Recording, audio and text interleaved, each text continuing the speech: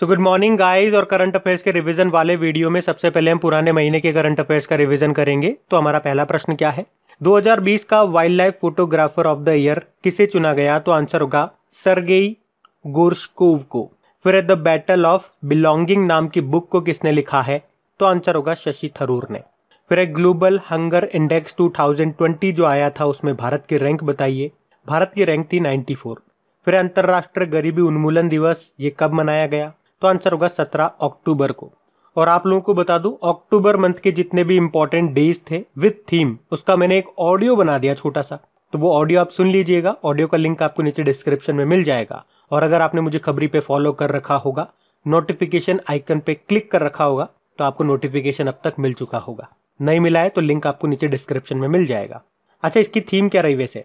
Theme रही acting together to achieve social and environmental justice for all फिर फिर Indian bank association के chairman के रूप में किसे नियुक्त किया गया? तो आंसर होगा राज किरण रॉय को। वैसे ये यूनियन बैंक ऑफ़ इंडिया के एमडी सीओ भी है। फिर कौन सा राज्य राष्ट्रीय रग्बी टीमों को प्रायोजित, यानी कि स्पॉन्सर करेगा अगले तीन सालों के लिए? तो आंसर होगा उड़ीसा। फिर इंटरनेशनल वेटलिफ्टिंग फेडरेशन ने किसे अपने इंतरिम अध्यक्ष के रूप में नियुक्त किया? तो आंसर होगा डॉक्टर माइकल ईरानी को। अच्छा बताओ, इंटरनेशनल वेटलिफ्टिंग फेडरेशन इसका हेडक्वार्टर कहाँ पर है? बुडापेस्ट, हंगरी में है। और इसी के साथ याद रखो, इंडियन वेटलिफ्टिंग फेडरेशन के प्रेसिडेंट का नाम वीरेंद्र प्रसाद बेस्य है। फिर एक कौन सा राज्य या union territory my town, my pride कार्यक्रम को शुरू करेगा? तो आंसर होगा जम्मू कश्मीर। जम्मू कश्मीर के अभी दूसरे नंबर के जो लेफ्टिनेंट गवर्नर बने थे, उनका नाम है मनोज सिन्हा मनोज सिन्हा। और इनके प्रधान सचिव नीतीश्वर कुमार उनका नाम है। फिर एक किसे न्यूजीलैंड के प्रधानमंत्री के रूप में फिर से चुना गया, जेसिंडा अर्डन को। न्यूजीलैंड की कैपिटल विलिंगटन है न्यूजीलैंड डॉलर। फिर राष्ट्रीय सुरक्षा गार्ड, नेशनल सिक्योरिटी गार्ड। अभी इसने अपना छत्तीसवा स्थापना दिवस मनाया। कब कब मनाया? 16 अक्टूबर को। और नेशनल सिक्योरिटी गार्ड इसे ब्लैक कैट के नाम से भी जानते हैं। इसके डायरेक्टर जनरल है अनूप कुमार सिंह। बढ़ते हैं आगे। अच्छा गाइज़ एक इंपॉर्टेंट सूचना आप सभी के लिए खास तौर पे बैंकिंग एक्सपीरियंस के लिए, कि अब आईबीपीएस क्लर्क की तैयारी करें अन के साथ। क्योंकि अन अकेडमी के टॉप एडुकेटर्स लेकर के आए हैं आईबीपीएस प्री के लिए फ्री क्लासेस तो इन फ्री क्लासेस में कवर होंगे इंपॉर्टेंट टॉपिक्स जो आपको हेल्प करेंगे क्वांटिटेटिव एप्टीट्यूड में इंग्लिश में और रीजनिंग के कंसेप्ट को बेटर करने में। तो अंकुश लांबा सर निमिषा बंसल मैम और आशीष अरोड़ा सर के साथ करें अपनी प्रिपरेशन तो इसके लिए सारे लिंक्स आपको डिस्क्रिप्शन बॉक्स में मिल जाएँगे। तो जल्दी से देख डालिए ये सारी मास्टर क्लासेस बिल्कुल फ्री में और क्रैक करें एग्ज़ाम अन अकेडमी के साथ। और उसके अलावा गाइज़ अगर आप अन अकेडमी पे कोई भी सब्जेक्ट परचेज करते हैं तो बाय करते वक्त crack exam ten promo code use करिए, आपको इंस्टेंट टेन परसेंट का डिस्काउंट मिलेगा। तो अभी हम बढ़ते आगे। फिर संयुक्त राष्ट्र के लिए भारत के स्थायी प्रतिनिधि के रूप में किसे नियुक्त किया गया? तो आंसर होगा इंद्रमणि पांडे को। और अभी आपको याद होगा टी एस तिरुमूर्ति को भी यूनाइटेड नेशन में भारत का स्थायी प्रतिनिधि बनाया गया था। फिर पाकिस्तान सेना में पहली महिला लेफ्टिनेंट जनरल अभी कौन बनी? निगार जोहर बनी है। और वैसे अभी पाकिस्तान में पहले हिंदू पायलट भी बने थे। कौन? राहुल देव। फिर किस राज्य या यूनियन टेरिटरी में पौधे लगाओ, पर्यावरण बचाओ नाम से अभियान शुरू किया गया? तो आंसर होगा दिल्ली में। फिर किस भारतीय अमेरिकी को? 2020 ग्रेट इमिग्रेंट्स सम्मान से सम्मानित किया गया तो आंसर होगा सिद्धार्थ मुखर्जी को और राज चेट्टी को। कोविड 19 स्वास्थ्य संकट को दूर करने के प्रयासों में जो इन्होंने योगदान दिए, उसी के लिए इनको मिला ये सम्मान। फिर एशिया रीजन के लिए कॉमनवेल्थ शॉर्ट स्टोरी प्राइज 2020 से किसे सम्मानित किया गया तो आंसर होगा कृतिका मांडे को।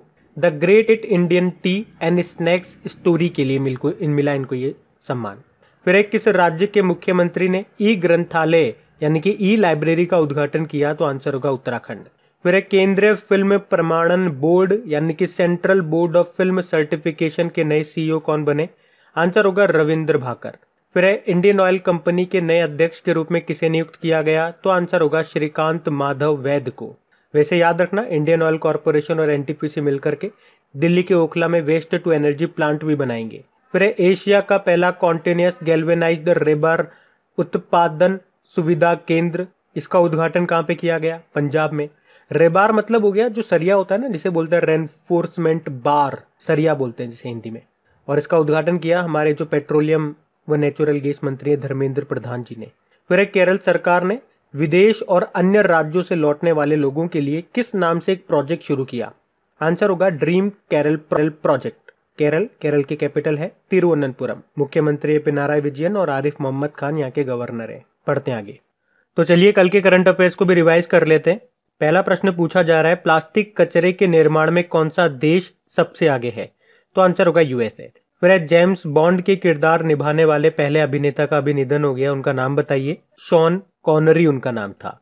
फिर ओडीआई में सबसे ज़्यादा मैचों में अंपायरिंग करने वाले आ, पहले अंपायर कौन से बन गए? तो आंसर होगा अलीम डार, कितने मैचों में? 210 फिर कंक्रीट की सबसे लंबी डूबी सुरंग किन देशों को जोड़ेगी? डेनमार्क और जर्मनी को। और ये सुरंग दो यानी कि 2029 तक शुरू हो जाएगी। 18 किलोमीटर लंबी है ये। डेनमार्क की कैपिटल कॉपिन है, जर्मनी की है बर्लिन।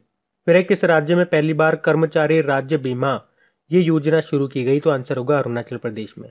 फिर है महिला आईपीएल 2020 संस्करण का टाइटल स्पॉन्सर कौन बना तो आंसर होगा जियो। मेंस का कौन है?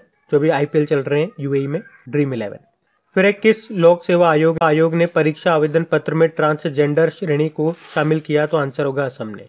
फिर है किस राज्य ने रयथु वेदिका कार्यक्रम शुरू किया किसानों के लिए तो आंसर होगा तेलंगाना ने। फिर है विश्व वेगन दिवस, ये कब मनाया गया? तो आंसर होगा एक नवंबर को। और वर्ल्ड वेजिटेरियन डे पूछेंगे तो वो एक अक्टूबर को। फिर है electronics sector skill council of India के। सीईओ किसे नियुक्त किया गया तो आंसर होगा पीवीजी मैनन को। फिर 2021 ऑस्कर में सर्वश्रेष्ठ अंतरराष्ट्रीय फीचर फ़िल्म की दौड़ में कनाडा का प्रतिनिधित्व करेगी कौन सी फ़िल्म? फनी बॉय फिर है अभी किस राज्य में एक दुर्लभ किस्म की चाय पिचहत्तर हज़ार रुपए प्रति किलो के रिकॉर्ड मूल्य पर बेची गई तो आंसर होगा असम में। बढ़ते आगे। तो स्टैटिक क्वेश्चन की हम लोग बात करेंगे तो पहला प्रश्न है एक्सिस बैंक के अभी एमडी सीईओ कौन है? तो आंसर होगा अमिताभ चौधरी है। इसका हेडक्वार्टर मुंबई में है और इसकी टैगलाइन है, बढ़ती का नाम ज़िंदगी। फिर है इंडियन पोस्ट पेमेंट बैंक इसके अध्यक्ष कौन है? जे वेंकट रामू फिर है इंडियन कोस्ट गार्ड फोर्स के डायरेक्टर जनरल कौन है? ये हैं कृष्ण स्वामी नटराजन। फिर अगला प्रश्न है, अभी नौगढ़ रेलवे स्टेशन जो कि उत्तर प्रदेश में है, उसका नाम बदल करके क्या कर दिया? सिद्धार्थ नगर रेलवे स्टेशन कर दिया। फिर है हुबली रेलवे स्टेशन, जो कि कर्नाटक में है। इसका नाम बदल के क्या कर दिया? श्री सिद्ध रुदा स्वामी जी रेलवे स्टेशन कर दिया गया। फिर है मंडुआ डी रेलवे स्टेशन, जो कि उत्तर प्रदेश में है। इसका नाम क्या कर दिया बदलकर? बनारस रेलवे स्टेशन कर दिया। फिर है एसबीआई के नए चेयरमैन अभी कौन बन गए? दिनेश कुमार खरा बन गए। पहले रजनीश कुमार थे। फिर है बापू, द अनफॉर्गेटेबल, नाम की फिर है बापू, द अनफॉर्गेटेबल नाम की बुक को अभी किसने लॉन्च किया? मनीष सिसोदिया ने, दिल्ली के डेप्यूटी सीएम है। ये फिर है discovering the heritage of Assam नाम की बुक को किसने लिखा? पद्म पाणी बोरा ने लिखा है। इसको रिलीज़ किया था अभी हमारे जो डोनर मंत्री हैं जितेंद्र सिंह ने। फिर एक किचन टू ग्रेटिट्यूड नाम की बुक को किसने लिखा? विकास खन्ना ने, शेफ है ये, बढ़ते आगे। तो इंपॉर्टेंट डेज़ की बात करते हैं। पहला प्रश्न पूछा जा रहा है, राष्ट्रीय हथकरघा दिवस कब मनाया गया? तो आंसर होगा सात अगस्त को। फिर है वर्ल्ड बायोफ्यूल डे विश्व जैव ईंधन दिवस 10 अगस्त को मनाते हैं। वैसे 10 अगस्त को अंतरराष्ट्रीय शेर दिवस भी मनाया जाता है। फिर है, विश्व मानवतावादी दिवस वर्ल्ड ह्यूमैनिटेरियन डे ये 19 अगस्त को मनाया। देखो, एक ह्यूमन राइट डे भी होता है, वो अलग है। वो हम 10 दिसंबर को मनाते हैं। फिर इंटरनेशनल सीनियर सिटीजन डे 21 अगस्त को मनाया जाता है ये। और ऐसा ही एक और डे आपने सुना होगा international day of older person वो वन अक्टूबर को मनाते हैं, एक अक्टूबर को। फिर है नेशनल स्पोर्ट्स डे तो आप जानते ही महान हॉकी प्लेयर थे हमारे मेजर ध्यानचंद जी, उनके जन्मदिन को मनाते हैं। Nine twenty nine twenty nine अगस्त को। और इंटरनेशनल स्पोर्ट्स डे भी होता है, वो हम 6 अप्रैल को मनाते हैं। फिर वर्ल्ड फोटोग्राफी डे ये हमने 19 अगस्त को मनाया। फिर इंटरनेशनल यूथ डे देखो इंटरनेशनल यूथ डे बोलेंगे तो 12 अगस्त आंसर कर कर देना। और नेशनल यूथ डे पूछेंगे तो 12 जनवरी आंसर कर देना। दोनों में डेट तो 12 ही है, लेकिन महीने अलग अलग है। अच्छा इंटरनेशनल यूथ डे की थीम क्या रही? ट्रांसफॉर्मिंग एजुकेशन फिर विश्व हाथी दिवस। ये हम तभी मनाते हैं जब हम इंटरनेशनल यूथ डे मनाते हैं, यानी कि 12 अगस्त। और हाथी किन किन राज्यों का स्टेट एनिमल है? देखो, एक तो केरल का है, एक कर्नाटक का है और झारखंड का है।